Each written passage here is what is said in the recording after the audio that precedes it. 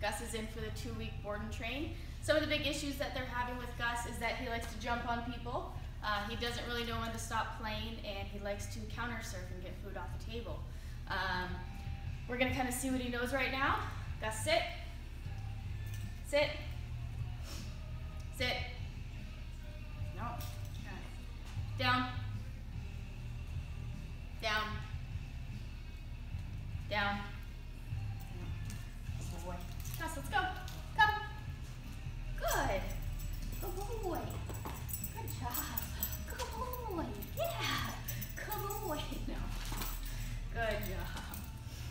Well, this is the beginning. We'll see where we're at in two weeks.